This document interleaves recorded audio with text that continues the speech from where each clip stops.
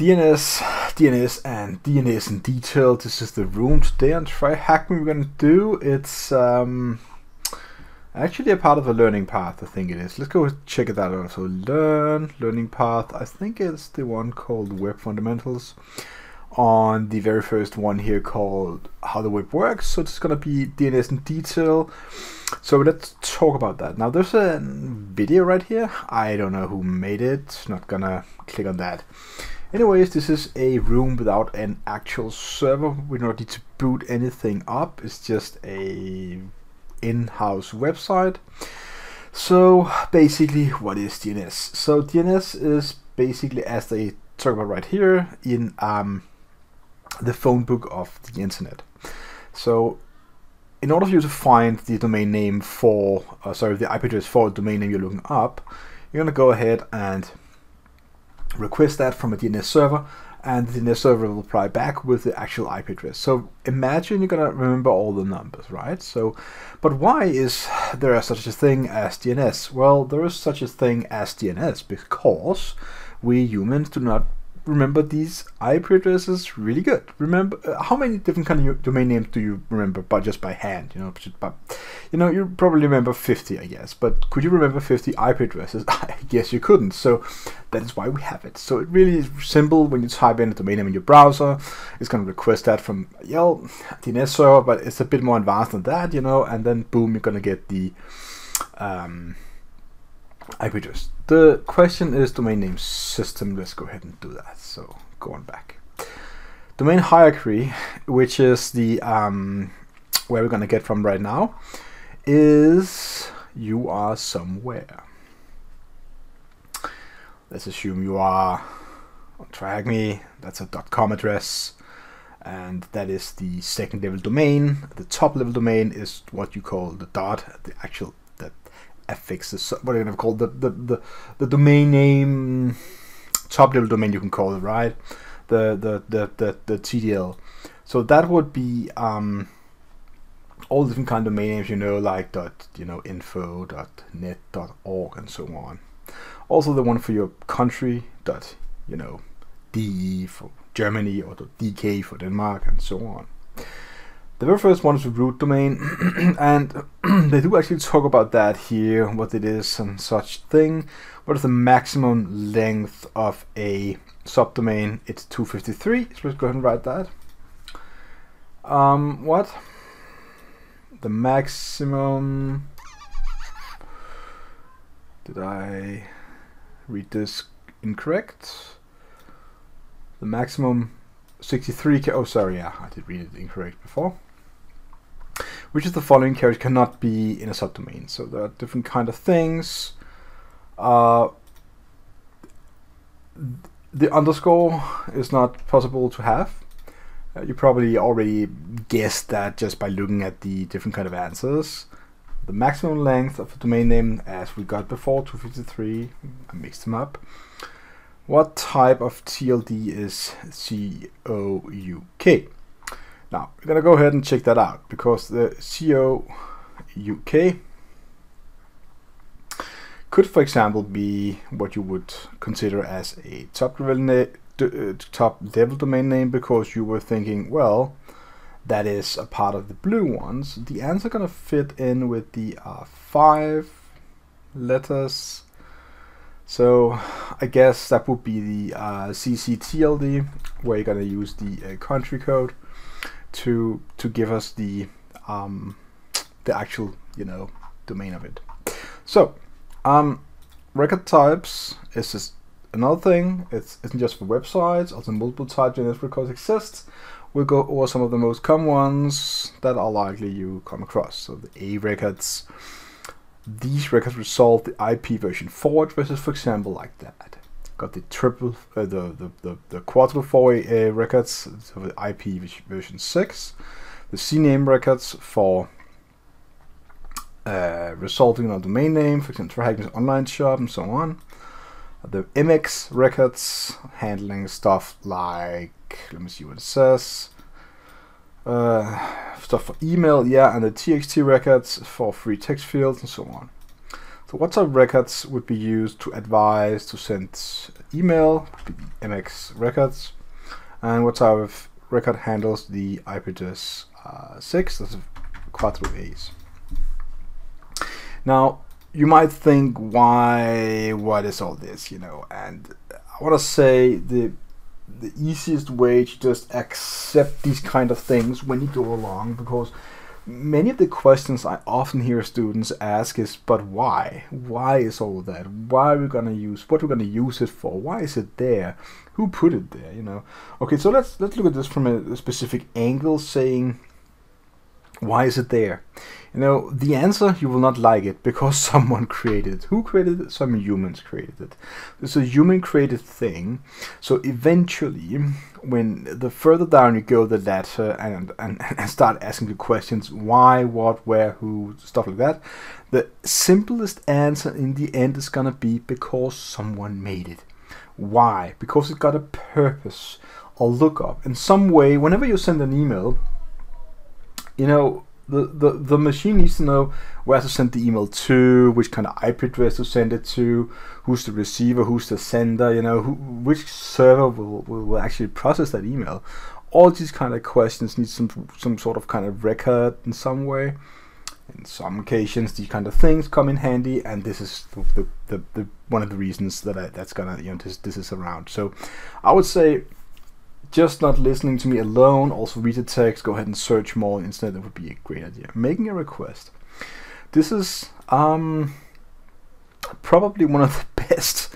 So you're gonna go ahead and start with the number one, go to number five. So you're gonna go ahead and, and say, I wanna go to uh, tryhackme.com you go ahead and do a, a recursive DNS server uh, lookup and you will get access to the actual root DNS server and then the authority DNS server which holds the actual IP address. I'm going to return it back to you and now you can do the actual request.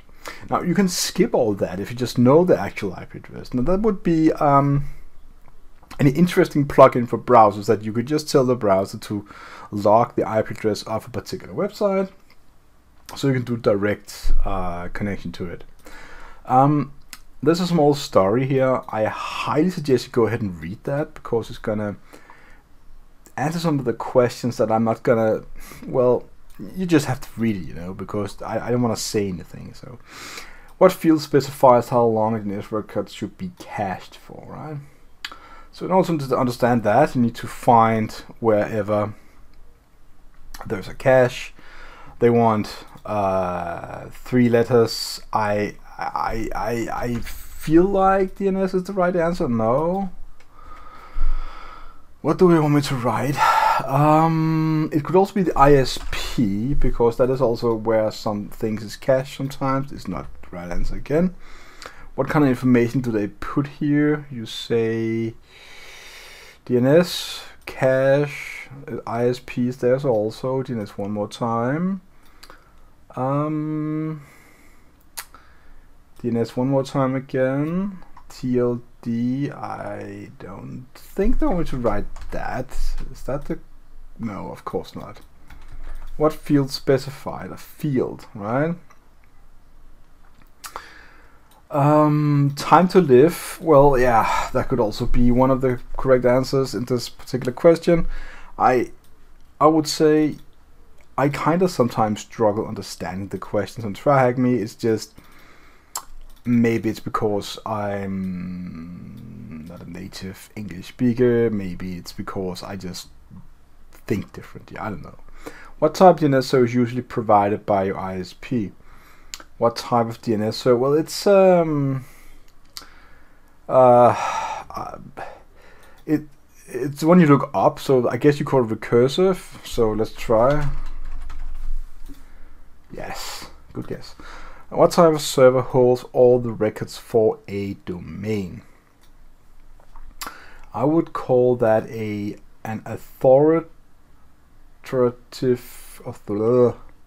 Let me just spell that out. Authoritative. I couldn't spell that. A U T H O R R. Oh, it's just right there. Yes. All right. So now that we, um, and you can also see that in the image, it's the last one, authoritative, whatever.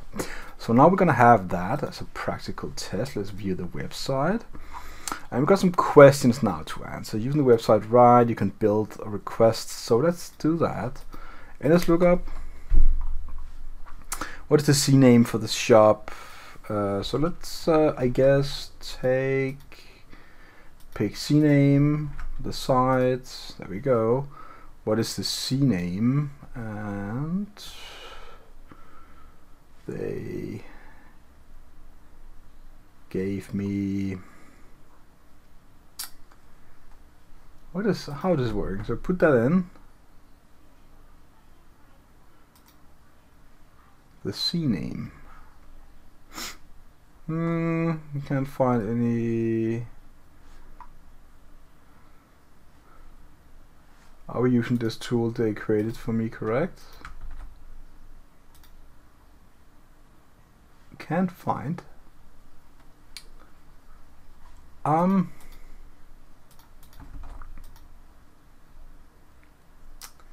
interesting. So we're gonna pick the subdomain website. So, oh, just gonna write shop. Oh yeah, yeah. Okay, so to understand how to use the tool the CNAME is uh, this one here. So let's go ahead and copy paste that. What's the value of text record of website? So go, go and pick text. And that would be it then. It already filled out. The value is a flag. Okay. Now these kind of things a bit odd sometimes that they put a flag there for something that is a bit, you know, um, weird. I guess instead they should just use that field so we can actually, you know, learn something from it, but it's not always the case. What is the numerical priority value for the um, MX record. So we're gonna go ahead and choose the MX record and see that. And see 30. And what is the IP address for the A record of the, okay, so let's just take the, um, didn't I get that at some point? I wasn't, no. So let's take the A record I'm going to take it's 4 times 10 and that's it for now. Now, as interesting as you actually think DNS is, it is this interesting. DNS is one of the more dull, I would say, and boring topics whenever it's pen test time. So let's discuss just for a second. We're going to use this for whenever we are doing a pen test, right? So where was that image? No. Okay, last time, please. Yeah. So whenever you do a an actual pen test, you go to a website and you hmm, you get the IP address. You know, you visit the actual website, and you know you visit it.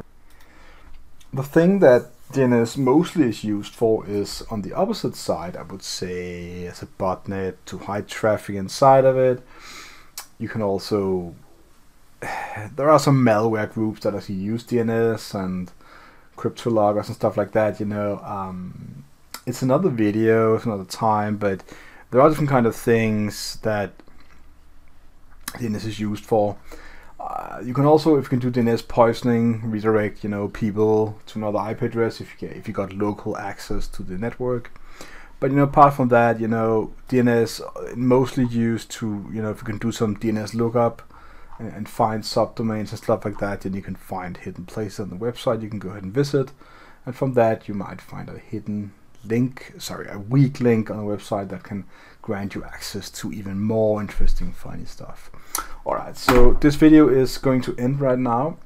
It's um, it's a DJ DNS in detail. I really hope you learned something from it. And if you did, please uh, consider giving my video a like and leave a comment below and see you again online.